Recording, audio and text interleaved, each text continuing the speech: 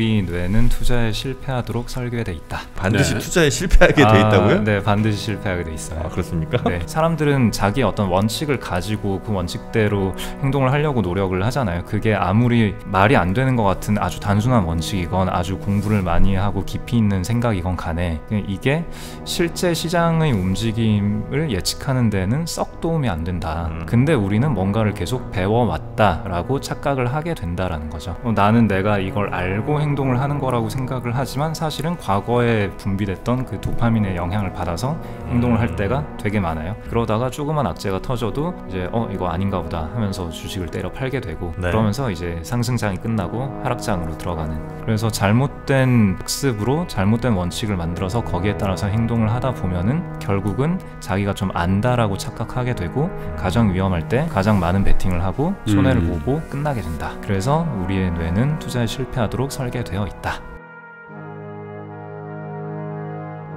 신과 함께 주말 특집 투자는 책과 함께 일흔 번째 시간이 시작됐습니다. 반갑습니다. 정 프로고요. 김 프로고요. 네. 자, 저희 투자는 책과 함께 주말에 저희가 어, 업로드를 해드리는데 아무래도 주말 같은데 그래도 시간이 좀 나실 테니까 뭐 음. 책을 직접 읽으시면 더 좋고 혹 못 읽으시더라도 저희가 전해드린 책에 관한 내용들 네. 책에서 알 수 있는 여러 가지 투자 아이디어라든지 격언들 이런 것들 한 번씩 생각하시면 다른 때 뭐 평상시는 몰라더라도 조금 이렇게 좀 흔들릴 때 도움이 좀 그렇죠. 되지 않을까 네, 싶거든요. 흔들릴 때 네. 마음을 다잡는 데 도움이 되더라고요. 네. 아 우리 김프로님도 책 각 읽으시죠? 아 근데 솔직히 말씀드리면 제, 제가 예전에는 학창 시절에는 책을 많이 읽는 친구로 좀 정평이 네. 있었거든요. 네. 근데 에, 일단은 바쁘고 핑계지만 네. 그리고 두 번째는 나이가 드니까요. 네. 약간 난독증 같은 게 오더라고. 이게 제가 이제 네, 근시도 네, 네. 있는 데다가 약간 난시도 있고 아, 그리고 이제 진도 팍팍 안 나가는군요. 창피한 얘기지만 이제 노안 같은 것도 좀 있으니까 네.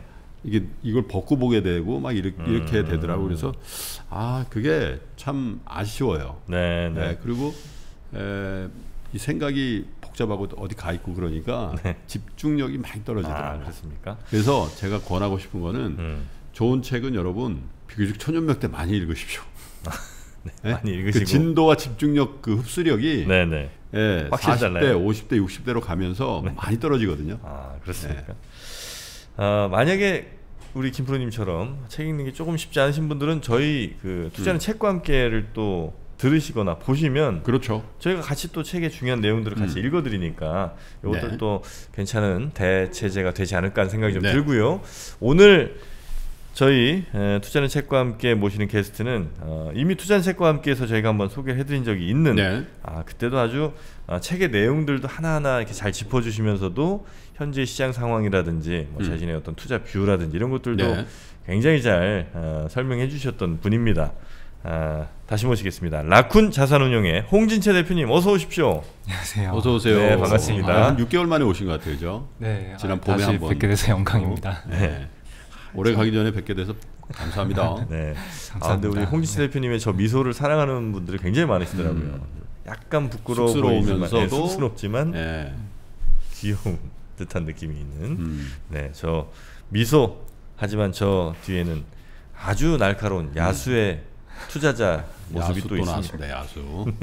비스트 투자자의 모습이 또 있다는 걸 여러분 잊지 마셔야 됩니다. 보통의 심장으로는 이 투자 시장에서 이렇게 버텨낼 수가 없잖아요. 제가 보니까 이분이 17년 동안인가? 어 근데 예. 정프로보다 한참 후배신 것 같은데. 한참 아니고 약간 살짝 라이틀리 한참 한참. 앞대가리 틀리잖아. 앞대가리가 뭡니까? 앞차니스 아 그러세요? 30대예요? 아, 저 이제 곧 이제 4자 답니다. 이제 곧이잖아. 두달 두달 후면. 며칠 남았지. 이 도- 도대체 17년 동안 초과 수익을 어떻게 거뒀다는 거예요? 20대부터. 네, 하여튼 뭐 대단한 분인데 음. 뭐 개인 투자자로도 뭐 꽤 성공하셨고 펀드 매니저로도 어, 괜찮은 성적을 쭉 내셨고 자산운용사 이제 대표로도 어, 4년간 네. 또 괜찮은 성적을 내면서 사실 이러기가 쉽지 않은데 음. 뭐 물론 이제 한 1년 혹은 뭐 한 2, 3년 정도 아주 괜찮은 성적 내는 분들도 종종 우리 뭐 투자 업계는 좀 있습니다만 또 그러다가 좀 안 좋은 모습을 보이기도 하잖아요. 원래 1등 했다라고 연락이 오잖아. 네 불안해. 그 다음 해에는 거의 꼴찌하더라고. 그래서 뭐 야, 평균은 그래도 넘지 않냐 이런 분들 계신데 우리 홍진대 대표님 같은 경우는 거의 17년 동안 매년 시장을 뛰어넘는 이른바 우리가 아웃퍼폼이라고 하는 고성적을 좀 내셨다는 거 아닙니까? 매년은 아니고요. 네. 그래도 지나고 보면은 대체로 많이 이겼다. 예, 그리고 저도 뭐 1등 가끔 했었는데 1등한 다음에 꼴등도 하고 뭐 그렇습니다. 아, 그럴? 수가 없어요 그거는. 아 1등 다음 꼴등하는 그 메커니즘은 뭡니까 도대체? 이게 오만의 그러니까 이제 본인의 투자 스타일이 예. 그 당시에 시장 상황과 부합이 되는 케이스들이 많죠. 그때 이제 1등 한다는 거죠. 예, 예를 들면 네. 가치 투자자들이 네. 뭐, 에, 뭐 북밸류라든지 이런 거 저평 가정을 갖고 있는데 그게 혹들 때가 있고 성장주 투자 뭐 엄청 하는 그런 때가 있잖아요. 요즘 같은 때죠. 아 근데 그때 네. 못 바꾸 바꾸기 좀 애매하군요. 이게 시장 상황이 지수도 바뀌지만은 시장의 음. 패턴과 이 스타일이 음. 주기적으로 바뀌기 때문에 네. 어떻게 카멜레온처럼 예? 아, 확확 바꾸면서 이렇게 하겠어요. 시장 바뀌었다고 내 투자 스타일 바꾸는 거 그것도 사실 위험할 수 있겠네요. 그렇죠. 네. 엇박자 타면 또 골로 가죠.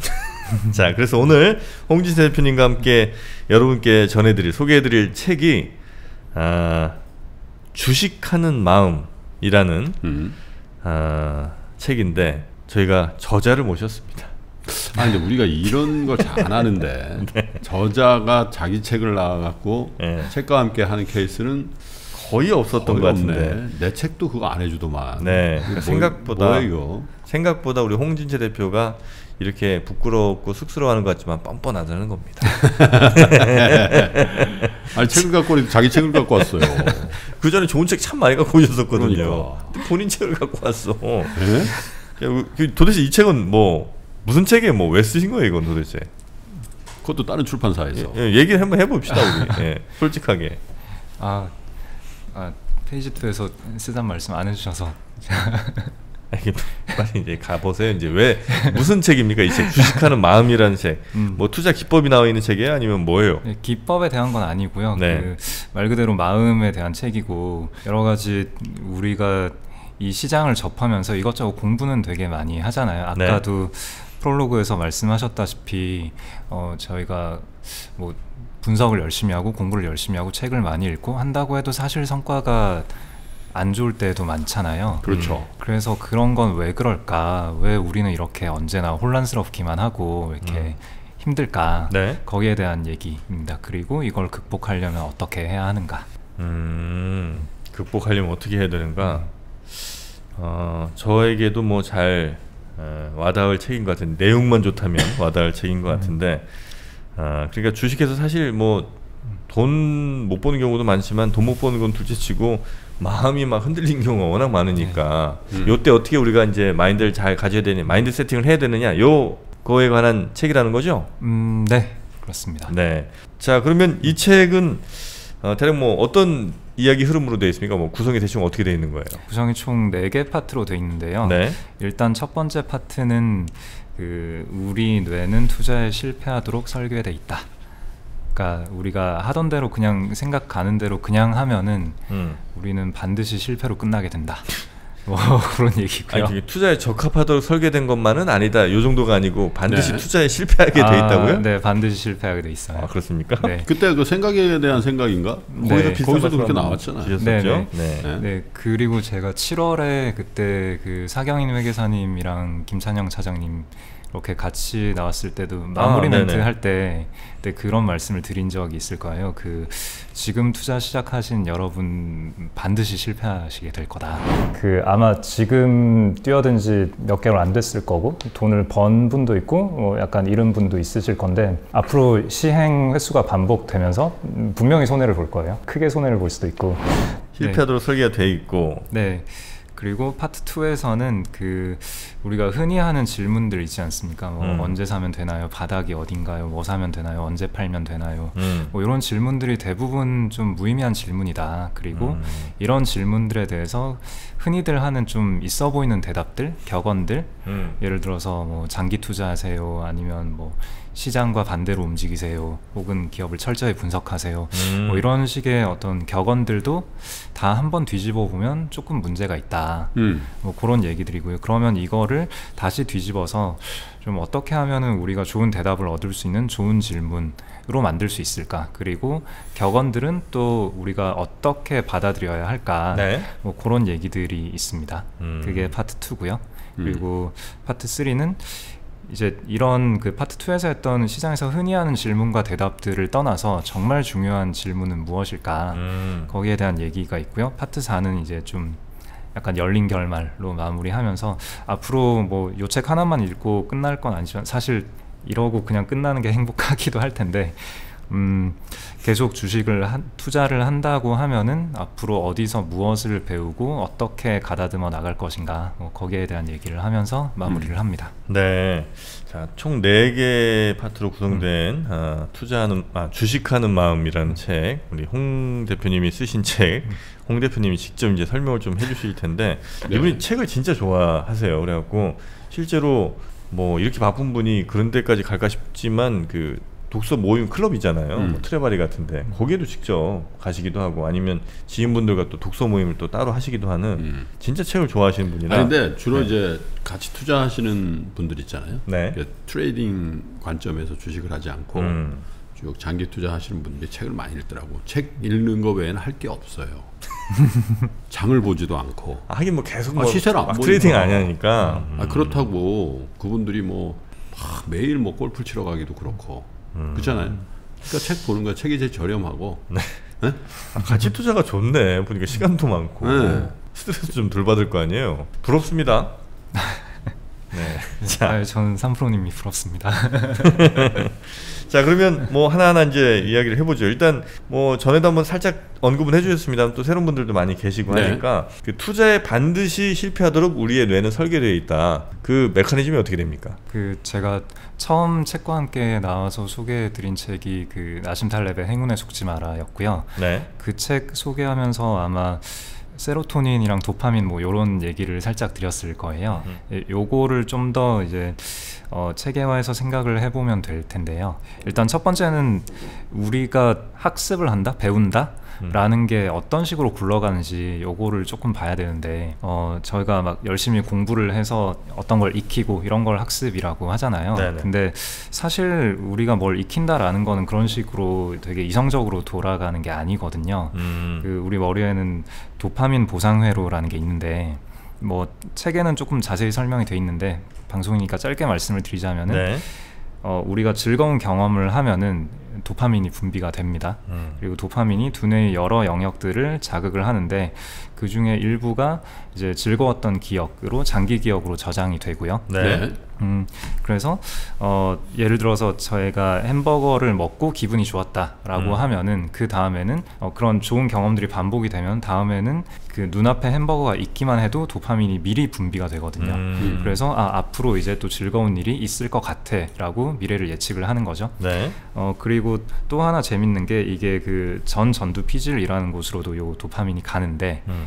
그전 전두 피질이 하는 역할은 이성적인 사고, 합리적인 판단을 하는 영역입니다. 근데 거기에서 만약에 햄버거를 보고 어 이거는 이런 패스트푸드는 우리가 자주 먹으면 안 돼, 몸이 상해라고 이성적인 판단 지시를 내리더라도 네. 전전두 피질로 간 도파민이 그 명령을 삭제를 해버려요.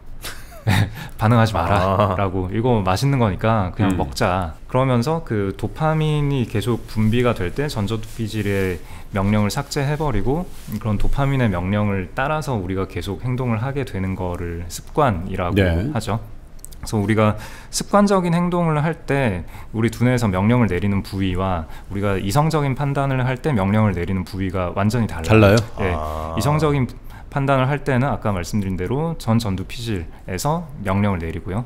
습관적인 판단은 습관적인 판단, 습관적인 행위는 그 선조체의 어, 조가비핵이라는 데에서 명령을 내려요. 아예 명령을 내리는 부위가 다른 음. 거예요. 네. 그래서 우리가 일단 습관적인 행동을 할 때에는 자기도 모른 채 어, 나는 내가 이걸 알고 행동을 하는 거라고 생각을 하지만 사실은 과거에 분비됐던 그 도파민의 영향을 받아서 행동을 음. 할 때가 되게 많아요. 네. 일단 요게 기본이고요. 네. 일단 요걸 기초로 이 시장에서 우리가 어떤 일이 일어나고 무엇을 배울까 요걸 이제 한번 생각을 해보자면요. 일단 이유는 모르지만 이유는 다양하게 있겠지만 그냥 상승장이 왔다고 합시다. 그러면 상승장이 오는 이유는 뭐 실적이 좋아졌을 수도 있고 금리가 낮아졌을 수도 있고 뭐 아니면은 부동산이나 다른 쪽에서 의 투자 매력이 줄어들어서 돈이 갈 곳을 잃어서일 수도 있고 뭐 다양한 이유가 있겠죠. 네. 그렇죠. 뭐 이유는 상관없이 그냥 상승장이 왔다 치고 그럼 상승장이 왔을 때 투자자들은 어떤 걸 배우게 되느냐?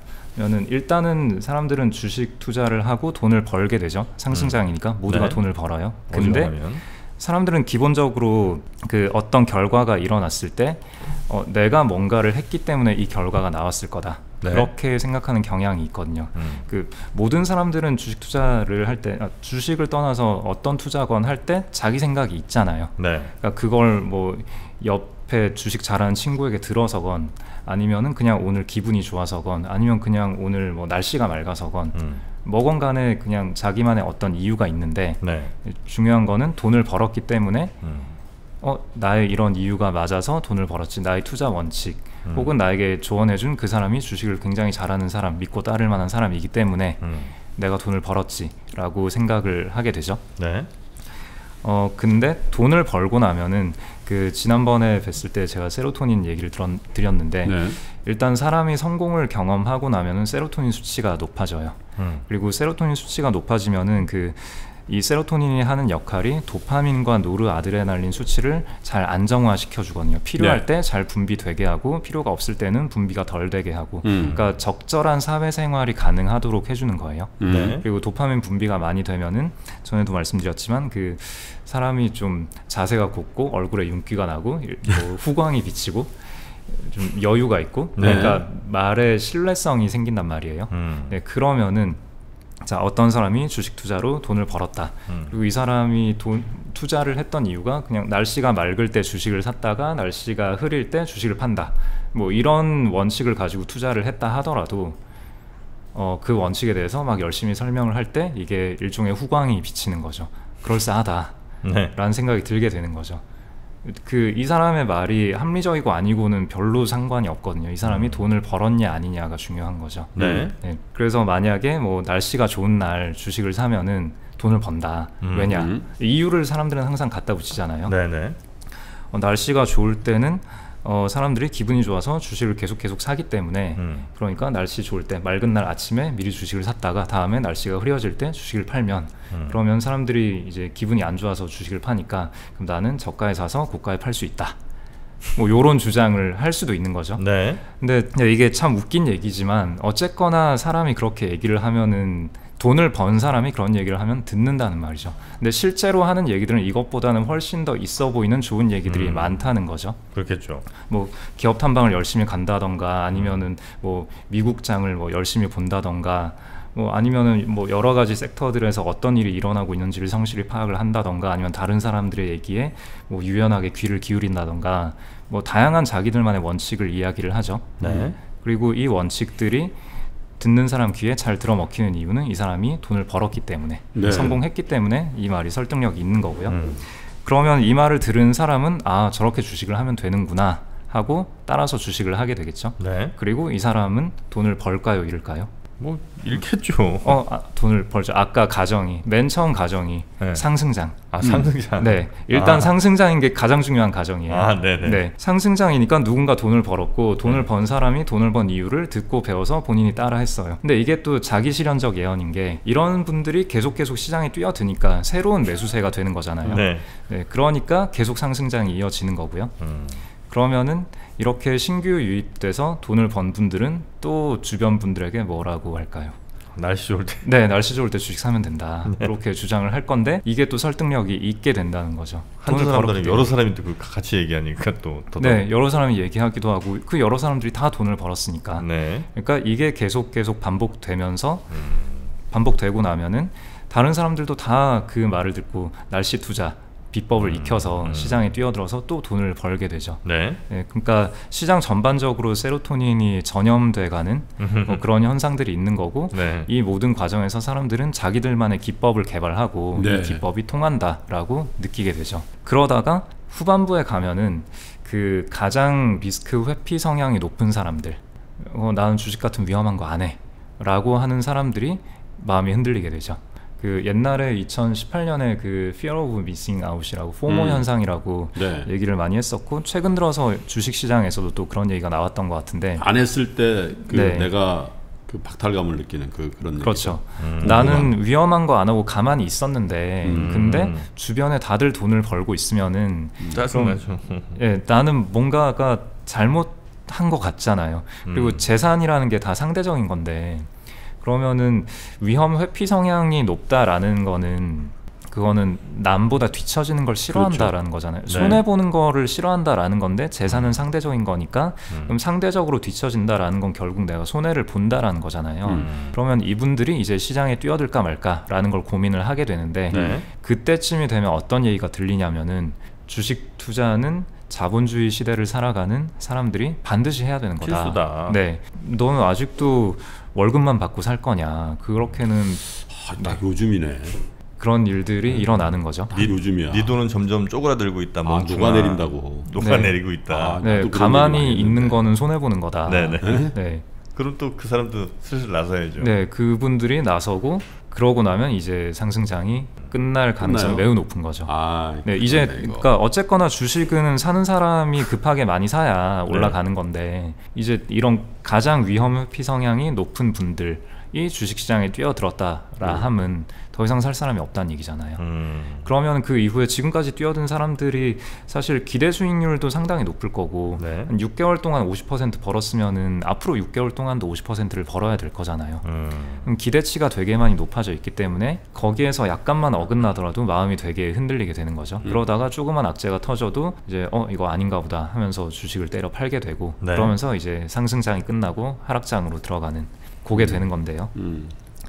그럼 하락장에서는 우리는 또 뭘 배우느냐, 어떻게 음. 행동을 하느냐 보면은 보통 그런 격언들 많이 있잖아요. 뭐 머리 꼭대기에서 팔 생각하지 마라, 음. 무릎에서 사서 어깨에서 팔아라, 뭐 이런 격언들이 많이 있는데, 근데 사실 머리 꼭대기에서 파는 사람들이 의외로 있긴 있거든요. 당연히 의외로?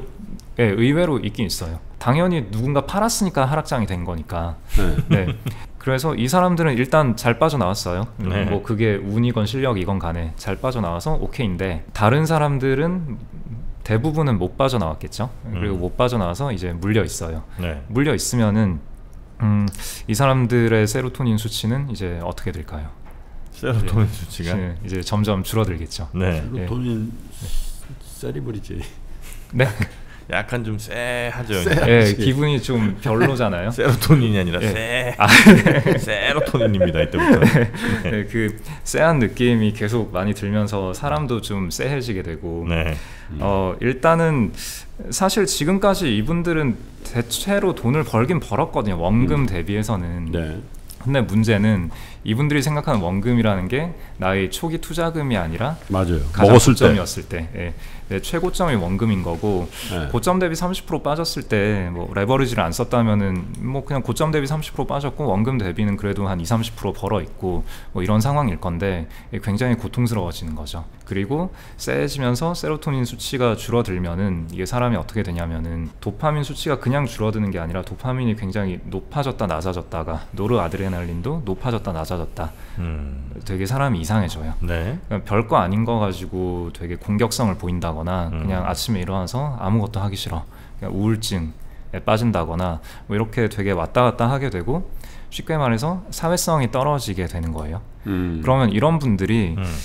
그 아직 주식을 안 하고 있는 사람 혹은 팔고 나온 사람이 있다면은 그런 사람들한테 찾아가서 야, 주식이라는 게 사실 원래 되게 좋은 건데 이분들이 시장에 뛰어들 땐 그렇게 배웠잖아요. 자본주의 시대를 살면서 주식은 반드시 해야 되는 거니까 음. 이렇게 배우고 뛰어들었으니까 주변 사람들한테 계속 주식을 전파하려고 하는 거죠. 지금 고점 대비 30%나 빠졌으면 싸진 거다.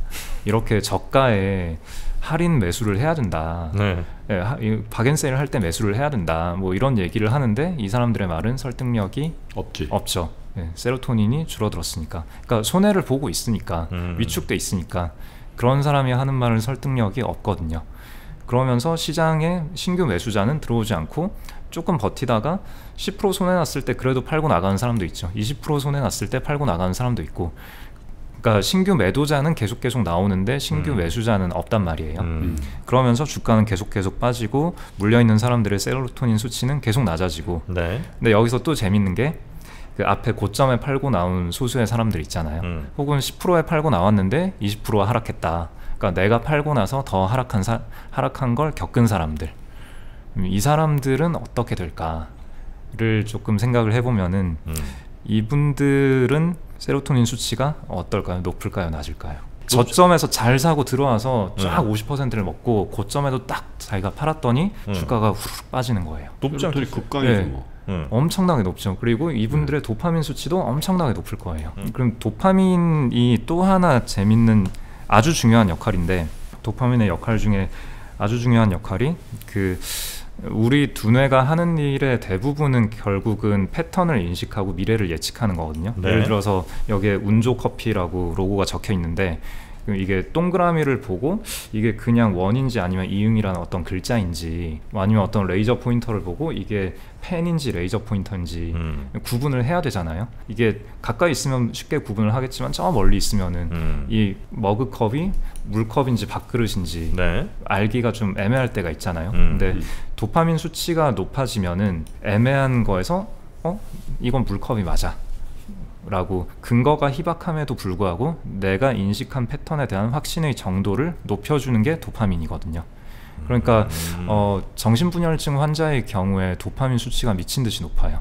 이런 분들은 그 사람의 어떤 사소한 표정, 아무 의미 없는 표정에서 되게 공격성을 읽어내고 뭐 그런 경우들이 많잖아요. 아. 혹은 창밖에서 한밤중에 저 밖에서 어른어른 거리는 뭔가를 네네. 보고 어 귀신 봤다 라고 하거나 아. 이런 게 다 도파민 수치가 지나치게 높을 때 일어나는 아. 일이거든요. 음. 불확실한 건데도 불구하고 나 확신한다 네, 이거죠. 확신을 한다. 네. 아.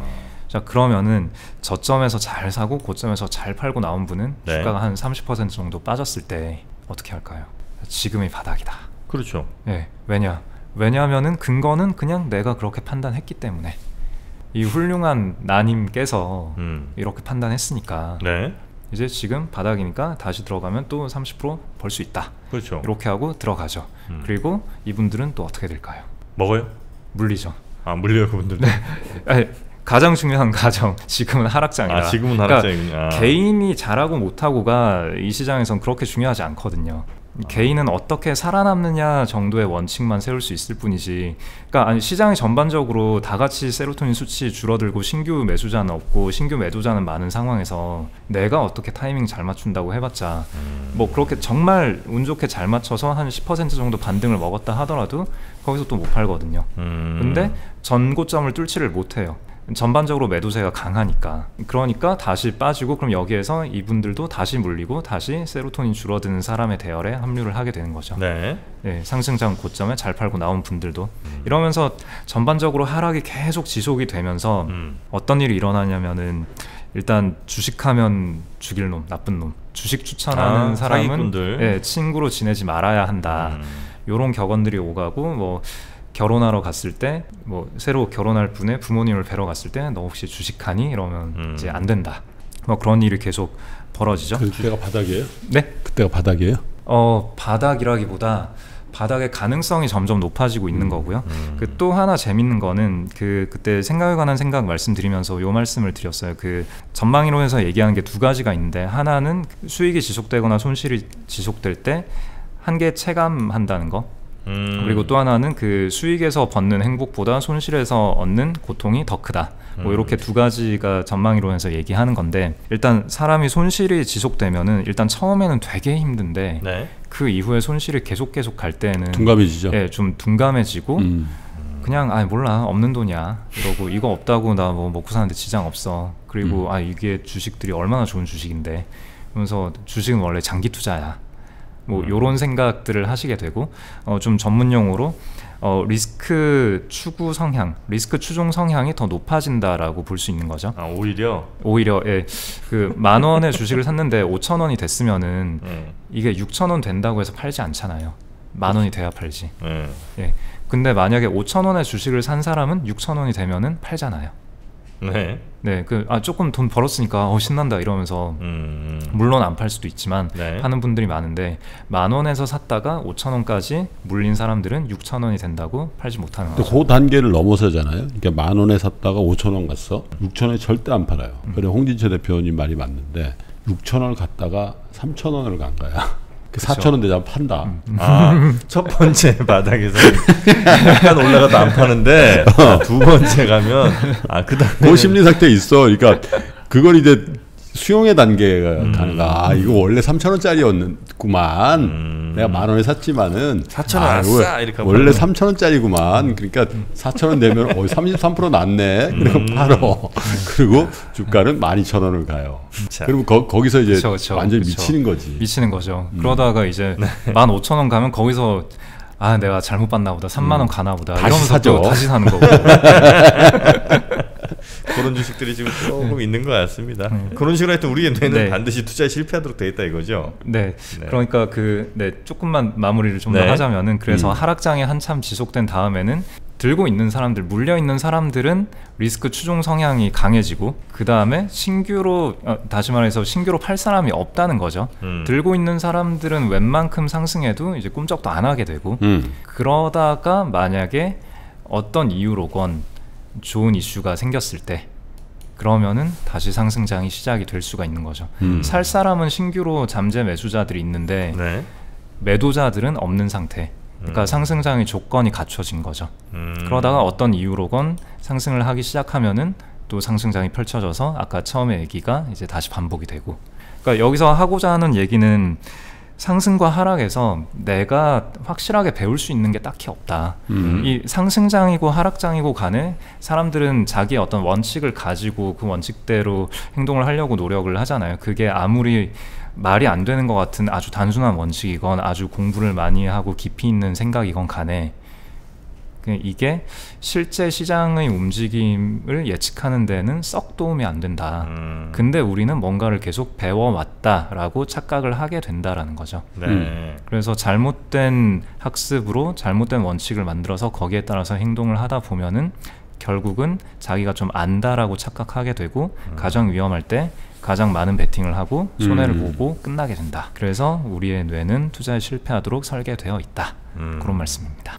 실패한 사례들은 참 우리가 많이 들었는데 정확하게 그 실패하게 되는 어, 과정과 아, 이유들을 또 이렇게 다 들으니까 다시 한번 또 반성을 어, 해보게 되는데요. 그럼 이제 중요한 건 아, 이제부터입니다. 그래서 실패하는 뭐 이유는 알았어요. 그럼 이거 안 하려면 어떻게 해야 되는지 그리고 뭐 어떤 질문을 던져야 그러면 어, 나의 투자에 진짜 도움이 되는 건지 이어지는 2부에서 우리 홍진채 대표님의 말씀 계속 듣도록 하겠습니다.